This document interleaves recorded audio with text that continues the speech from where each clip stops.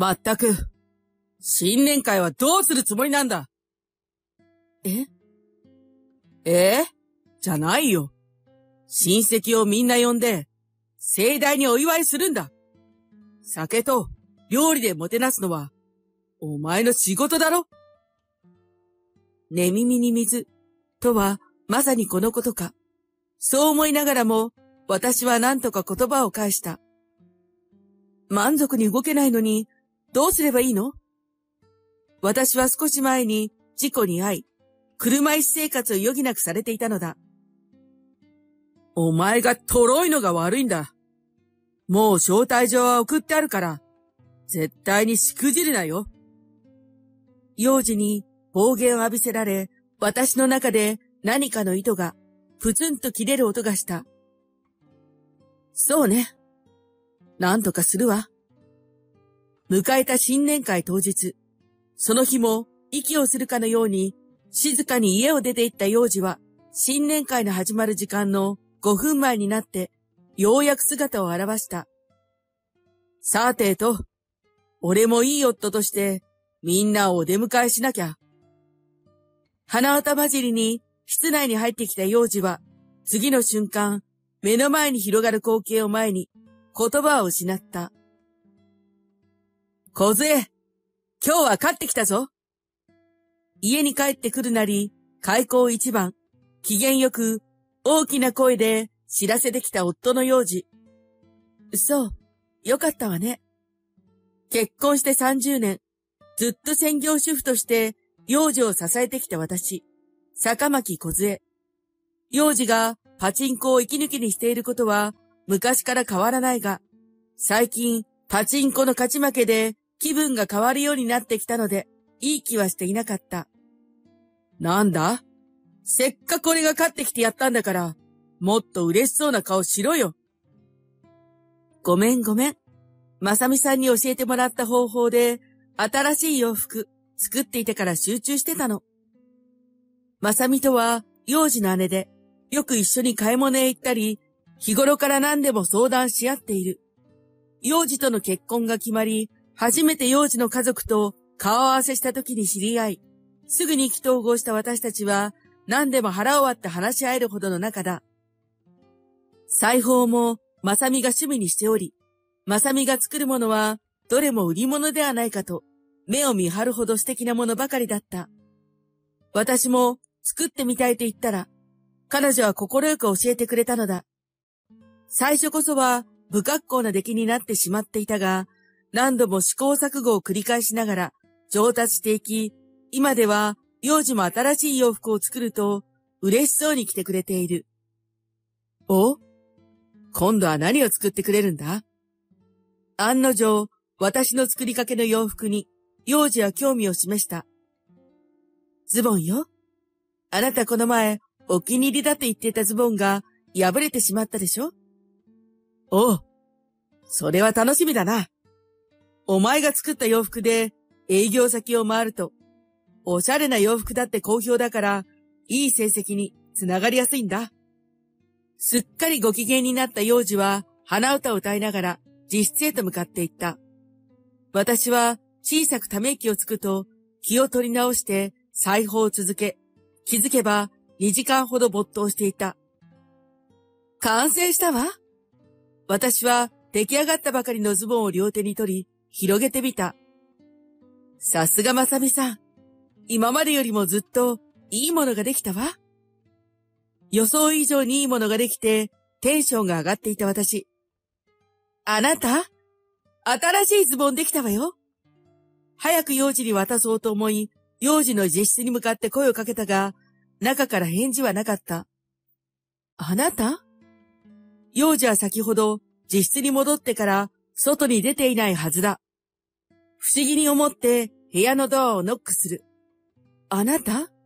やはり返事がないので、そっとドアを開けて中を覗いた。なんと幼児はパソコンを開いたまま、机に突っ伏して大きないびきをかきながら寝ていたのだ。まったく、もう若くないのに、こんなところで寝たら風邪ひくじゃない。呆れつつも毛布をかけてあげようと、幼児に近寄ると、パソコンの画面が私の目に入った。そこには大きく、あなたの負け、と文字が表示されており、課金を促すような案内が書かれていた。え？まさかパソコンでもパチンコやっているの？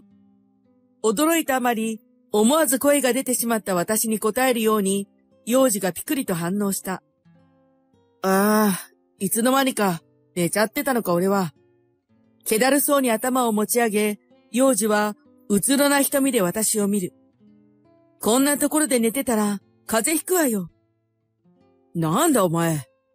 勝手に俺の部屋に入ってくるなよ。ようやく意識がはっきりと戻ってきたようで、私にパソコンの画面を見られたことに明らかな不満をあらわにした。声をかけたのに反応がなかったから心配になったのよ。そんな暇があるなら、飯の用意をしておいてくれよな。俺が起きてすぐに食べれるようにするのが、お前の役目だろ。私は、幼児の身勝手な発言に、言葉を失ってしまった。まだ、お昼を過ぎたばかりだし、あなたがいつ寝て起きるかなんて、わからないじゃない。それを把握して、夫に尽くすのが、妻の役目だろ。いちいち俺にこんなこと言わせるなよ。そう言うと幼児は、急に立ち上がり、財布を持って部屋を出て行こうとした。え？ちょっと、どこに行くの？名詞。お前の味気ないご飯が出てくるのを待つより、外で食べた方がずっと美味しいし、早いからな。幼児は、ぷいっと顔を背け、放心状態の私は、置き去りのまま外へ行ってしまった。新婚の頃の幼児は、どこへ行っちゃったの？結婚した当初は、夫婦は何でも協力し合うものだ。と意気揚々と家事を手伝ってくれていたのに、今では手伝うどころか、すべて私に任せきりの上、不満ばかり漏らす。幼児が作ってくれるオムライス、また食べたいな。幼児は料理が苦手だった。しかし、付き合って間もない頃に、私がオムライスが好きだと伝えたら、記念日には不格好ながらも、一生懸命オムライスを作ってくれていたのだ。そんな過去を忘れたかのように、家事は女の仕事だ。と言って、オムライスどころか、包丁すら握らなくなってしまった。私は今日何度目かわからないため息をつくと、洗濯物を取り込むためにベランダに向かった。淡々とした日々を過ごしていたある日、幼児が興奮気味に私に話しかけてきた。なあ、小杖。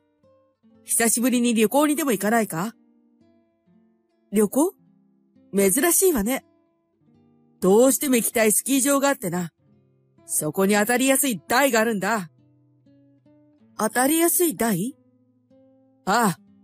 いや、こっちの話だ。とにかく、お前も久しぶりにスキーがやりたいだろ？私はスキーが趣味なので嬉しい話だし、幼児との旅行もかなり久しぶりで、ワクワクする反面、幼児の異様なほどのテンションの高さに嫌な予感もしていた。しかし幼児は自分のペースでぐいぐいと話を進めると、私がうなずくのを待たずして旅行を決めてしまった。こうして、あれよあれよという間にスキー旅行の日を迎えた。着いたぞ。雲一つない快晴に見渡す限り白銀の世界。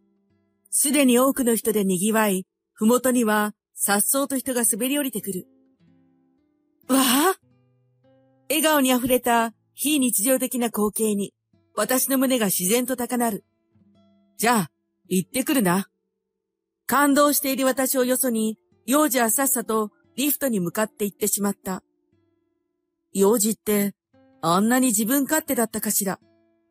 ついつい愚痴をこぼしながらも、私は慌てて幼児の後を追った。しかし、幼児の歩くスピードが速すぎて、私は追いつくことができず、彼は先にリフトに乗って行ってしまった。せっかく久しぶりに二人で旅行に来たのに、私と一緒に楽しもうという気持ちは、みじんもないのね。悲しさと寂しさを胸に抱え、リフトに揺られると、冷たい風が心を凍らせてくるように感じる。先ほどまでは夢の国かのように見えた楽しそうな光景も、こうして上から見下ろすと、白い雪に黒い人が流れ続けていて、まるでモノクロ映画のようだ。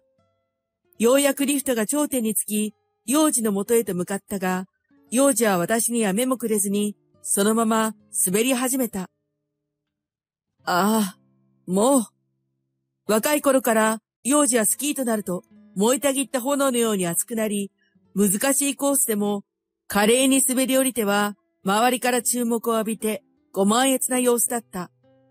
幼児のスキーへの情熱は50歳を過ぎても健在なようで、大勢のスキー客の間を縫うように鮮やかに滑っていく。もういい歳なんだし、無茶しないといいんだけど、スキーを日課にしていたあの頃とは違い、体力は衰えているし、反射神経も鈍っているはずだ。ゆっくりと滑り始めた私とは対照的に、幼児の姿はどんどん小さくなっていく。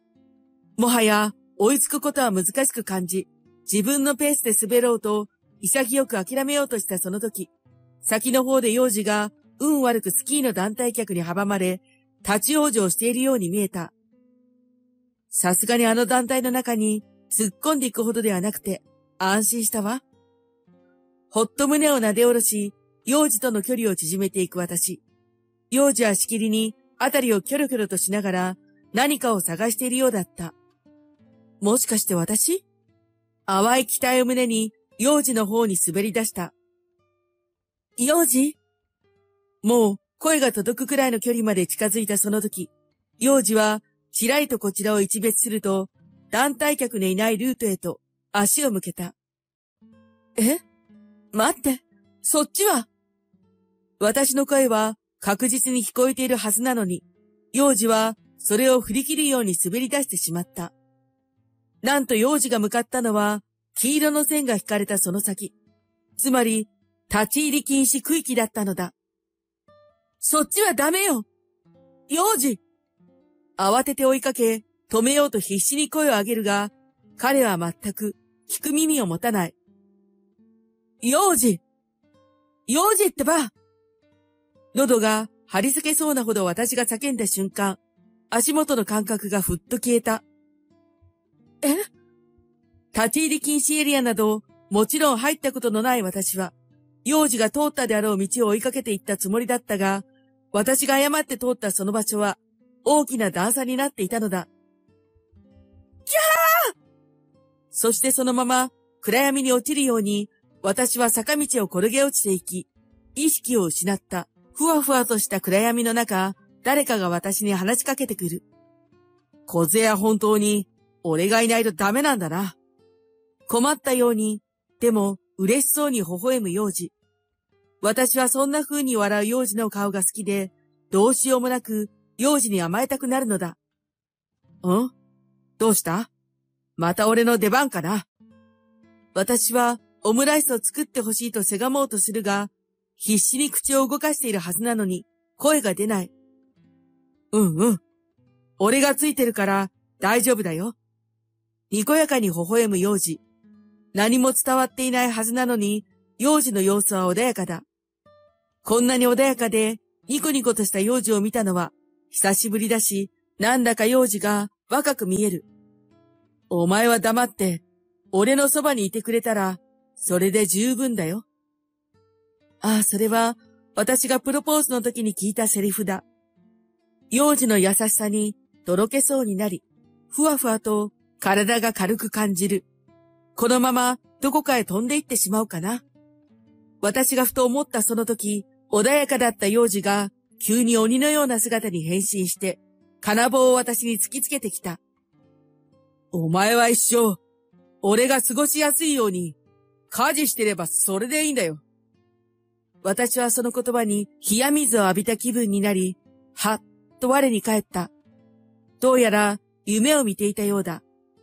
重たいまぶたをゆっくり開けると、真っ白な天井が目に入り、続いて、ピッ、ピッ、と機械的な音が耳に入ってきた。私は奇跡的に助かったみたいだ。全身麻酔をされているのか、痛みは一切感じない上に、感覚も全くない。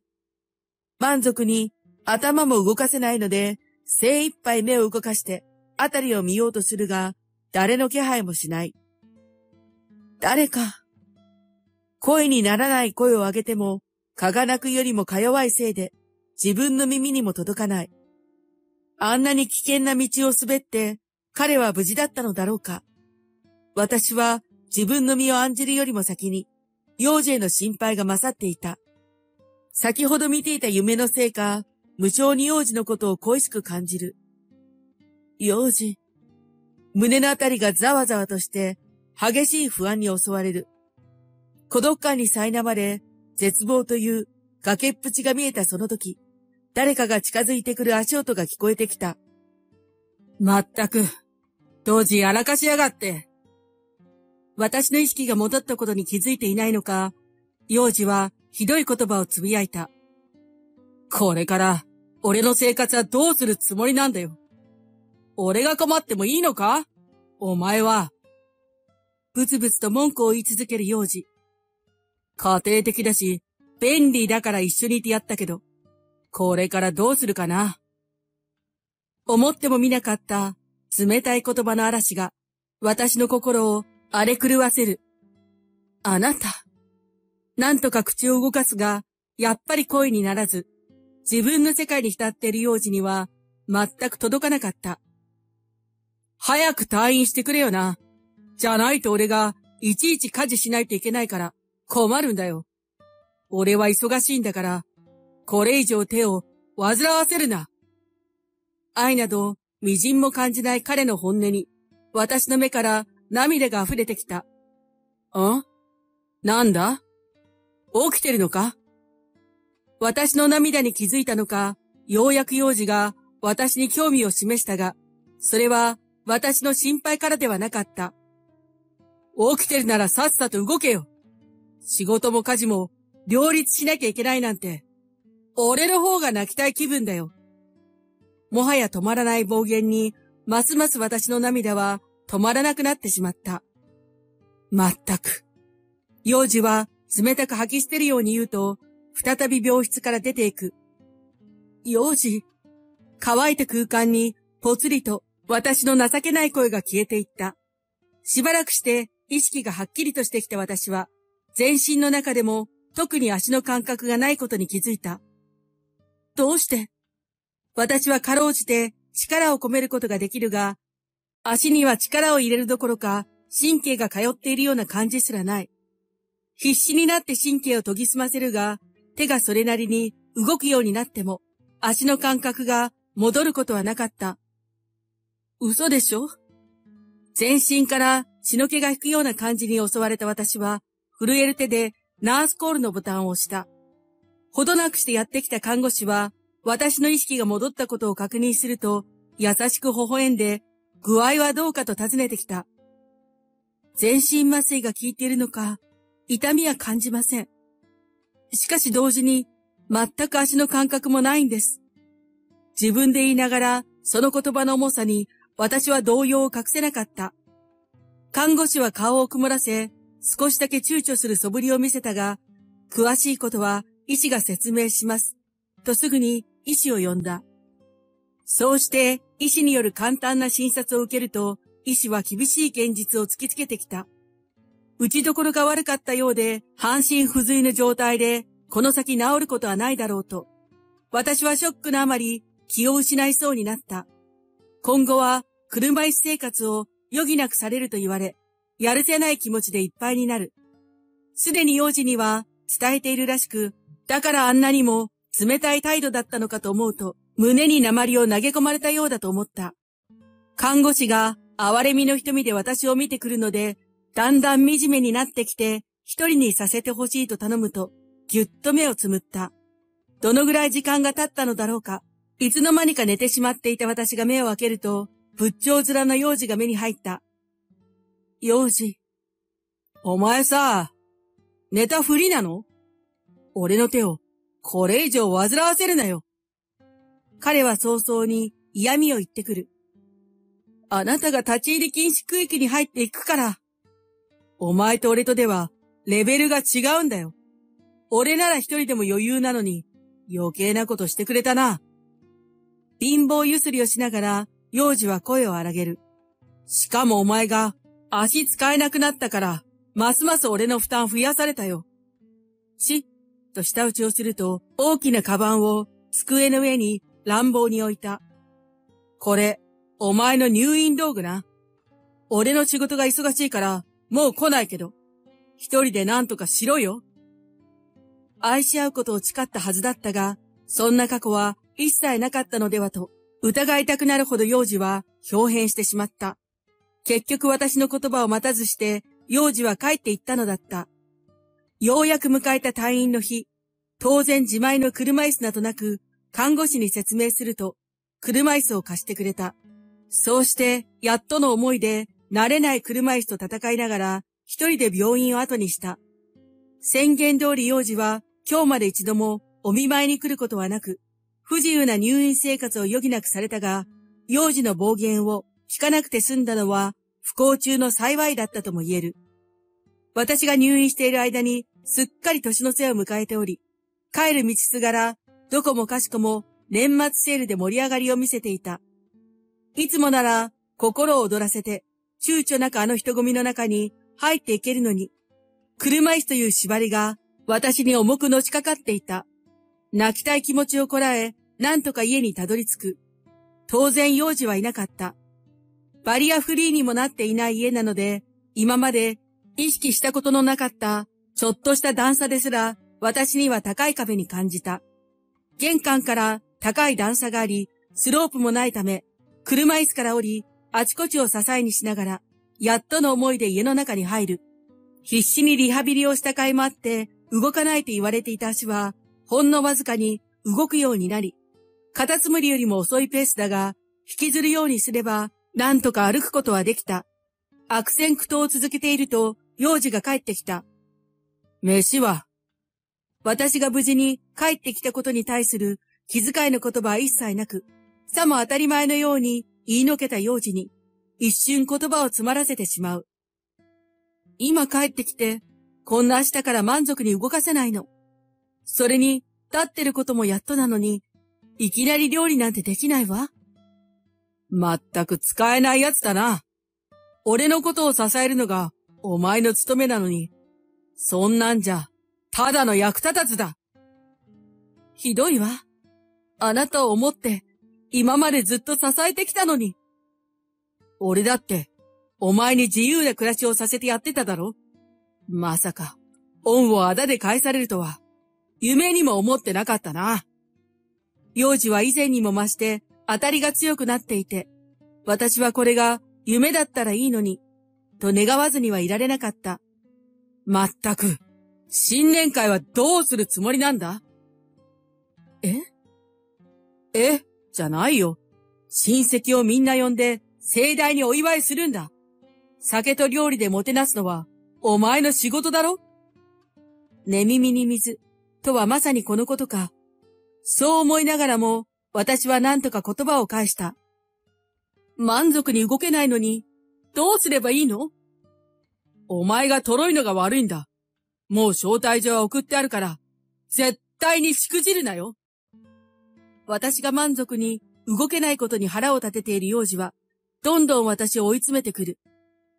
役に立たせてあげようとしてるんだから、立派に勤めるのが、お前の仕事だろそう言われて、私の中で何かの糸が、プツンと切れる音がした。そうね。なんとかするわ。当然だ。最初からそう言っとけよ。結局幼児は、私の足のことには一切触れず、また家から出て行った。私は、その背中を見送り、ある決意を固める。私が何とか新年会の準備を進める一方で、全く関与していない幼児は、こそこそとどこかに出かけているようで、家にはほとんどいない。迎えた新年会当日、その日も息をするかのように静かに家を出て行った幼児は、新年会の始まる時間の5分前になって、ようやく姿を現した。さてと、俺もいい夫として、みんなをお出迎えしなきゃ。鼻歌混じりに室内に入ってきた幼児は、次の瞬間、目の前に広がる光景を前に言葉を失った。そこではすでに新年会が始まっており、それぞれ挨拶を交わしていたからだろう。どういうことだ？まったく、自分で招待状を出しておいて、準備に一切関わらないどころか、お出迎えしようともしないなんて。いい夫を演じていた幼児は、常日頃から形式ばったものには、ものすごいこだわりを見せ、ましてや自分が招待した新年会に遅刻するなど、もってのほかだったのだ。幼児は必死に時計と室内を交互に見比べるが、時計の針は前に進むのみ。おい、小杖親戚の前にもかかわらず、本性をむき出しに、大きな声で、幼児は私の名前を呼んだ。イライラが最高潮に達している幼児は、強引に私の肩を掴んできた。痛いなあ、これはどういうことだ？俺がいないのに、何でも新年会が始まってるんだ？幼児は今にも押し倒すのでは、というほどの勢いで、掴んだ私の肩を強く揺さぶった。遠くから来てくださる方を考慮して、時間を早めたのよ。なんだと？全部段取りして、招待状を出したっていうのに、俺に恥をかかせるつもりか？そこへ、まさみが私を守るように、私の肩に置かれていた幼児の手を振り払ってくれた。段取りなら、私と小杖さんが中心になって、みんなでやったわよ。結婚する幼児に、まさみが冷たく言い放った。実は、新年会の準備の前、私はまさみに電話をかけていた。幼児は男尊女卑を地で行くところがあり、まさみはその被害者だった。日頃私の愚痴を聞いてくれていたまさみは、再三注意をしてくれていたが、幼児には何も響いていなかったようだ。幼児には痛い目を見てもらわないとわからないみたいね。幼児を反省させようと鼻息を荒くしていたまさみに、私はスキー旅行での事故についても話した。楽しい旅行のはずが、こんな目に遭うなんて、夢にも思ってなかったです。私はそう切り出すと、入院中での出来事も、すべて打ち明ける。小杖さん、一人で辛かったでしょ？まさみは申し訳なさそうに言った。私の弟が本当にごめんなさい？謝って済む話ではないのは分かっているわ。でも私が必ず小杖さんの力になるから。そうしてまさみは全面的に協力してくれ、親戚も巻き込もうという話になったのだ。参加する親戚全員に声をかけ、事情を話すと、みんなが快く私たちを手伝ってくれた。幼児は日頃から自分はできた夫だと周囲に不意調していたらしい。親戚たちは私の話に最初こそは驚いていたものの、受けてきた仕打ちを話すと、みんなから同情されてしまった。幼児には心をしっかり入れ替えてもらおう、と一致団結して不安でいっぱいだった新年会は、一縷の希望へと変わっていったのだ。真相を知り、金魚みたいに、口をパクパクとさせる幼児に、まさみが近づく。あんた、他の親戚の前では、ずいぶんいい人ぶっていたみたいね。俺はいい人ぶってるんじゃない。実際にいい人だろ話は小杖さんから全部聞いたわ。どう考えても、あんたが悪い。ふざけるな。どうせこいつが被害者ずらして作り話をしたに決まってる。反省するどころか、自分の非を一切認めない幼児に、まさみは冷静に言った。作り話じゃないのは確かよ。小杖さんが入院していた病院に行って、看護師さんに話を聞いたけれど、あんた病院には一回しか行ってないんだって仕方ないだろう。仕事が忙しかったんだ。パチンコに行くのに忙しかったんじゃないの？ズバリと確信をついたまさみの一言に、幼児は一瞬だけひるんだが、すぐに歯向かってきた。し、仕事だって言ってるだろこの新年会まで準備を進めながら、近所の人にも話を聞いたけれど、みんなあんたがパチンコに入り浸っていたと証言していたわ。ええうるさいうるさい。だったら何だって言うんだ。そんなどんくさい女の肩持ちやがって。こっちから願い下げだ。ついに逆ギレし始めた幼児に不自由な嫁をほったらかしてパチンコに繰り出すなんて信じられないと親戚たちがこぞって私の肩を持つ発言をしてくれた。みんなして、好き勝手言いやがって。同時を踏んだこいつが悪いのに。もう、離婚してやる最後まで自分の主張を曲げない幼児を、これ以上説得することは不可能だろう。私は彼から言い渡された離婚をすんなりと受け入れた。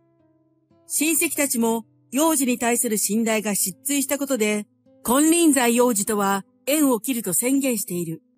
新年会はドタバタ劇に見舞われたが、私にとってはいい結果になったと心から安堵する。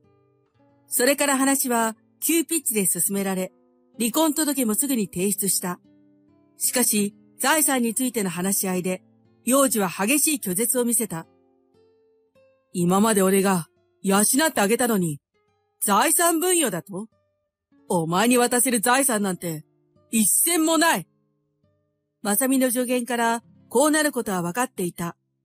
そう言われることを予想していた私たちは、弁護士に介入してもらい、結果的には、おとなしく払ってくれることになったのだ。私は実家に戻ることにして、元の家には幼児が残っている。引っ越しの手伝いは、まさみをはじめ、親戚の協力もあって、予定よりも早く終えることができたので、感謝している。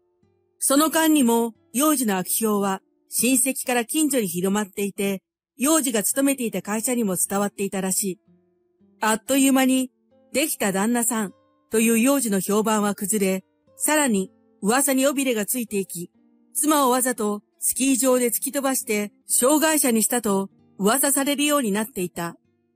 会社では窓際に追いやられただけでなく、針のむしろのような環境だったらしい。それから間もなく、いたたまれなくなって退職したという噂を耳にした。それから私が実家に戻ってから数日も経たないうちに、実家にある電話がかかってきた。もしもし。その声は、小杖か？なあ、小杖。俺たちやり直そう。本当は俺がいなくなって、寂しいだろ？なんと、電話の相手は幼児だった。一人になって反省しているのかと思いきや、信じられない提案をしてきたことに、私の口は開いたまま塞がらない。幼児は私が黙っていることをいいことに、勝手に話を続ける。俺、料理って言っても、オムライスは作れるけどさ、買い物とかわからないし、他の家事も何もわかんないんだよ。なあ、俺ってかわいそうだろ？いかにも悲劇に見舞われたかわいそうな自分をアピールしてくる幼児だったが、私はきっぱりと言い切った。私はあなたとやり直すつもりなんて毛頭ないわ。お願いだから。俺さ、会社を辞めざるを得なかったから、就活もしてるんだけど、なかなか決まらなくて大変なんだよ。あなたが自分で蒔いた種でしょ？お前なら、障害者年金もあるし、家事もやってくれるし、俺がいた方が心強いだろ？聞くに耐えない幼児のわがままぶりに、さすがの私もカチンときた。散々私を奴隷みたいにこき使っておいて、足が不自由になった途端に、用なし扱いにしてあげく、今度は面倒見てほしいってそんなわがままが通用すると思ったら大間違いよ。俺たちの中だから、許されるだろ頼む。一生のお願いだ。今度うちに電話したり、関わろうとしたら、警察呼ぶから。私は幼児の言葉を無視し、電話を切ると、即刻幼児の電話番号を着信拒否し、この家の電話番号も変えるための手続きもした。その後、幼児の貯金は底をついたらしく、悪評も消えない上に親戚には頼れないので、パチンコの沼にはまっていき、どんどん貧困に追い詰められていったらしい。風の噂で聞いただけなので、どこまで本当かは定かではない。その一方で、親戚一同は、新年会での一連の流れをきっかけに、仲が深まっており、定期的に顔を合わせて食事をするようになった。私はというと、コツコツと作品作りに没頭していた。親戚の中でも若い人たちからハンドメイド作品をネット販売したらどうかと勧めてもらったのだ。売り出してみると思いのほか好評で瞬く間に人気ハンドメイド作家として名が広がっていった。不自由な体ながらも、まさみや親戚たちは私と普通に接してくれ、私はようやく自由を実感できた。次はどんな作品を作ろうかしら。失ったものは確かに大きかったが、代わりに自分だけの人生を手に入れたのだ、と思う。まさみからはハンドメイドの作品展覧会をやろうと話を持ちかけられているし、未だかつてないほどワクワクが溢れる毎日だ。第二の人生、思い切り楽しまなきゃね。私は生きていることに心から感謝しつつ、笑顔を浮かべると新たな作品作りに取り掛かった。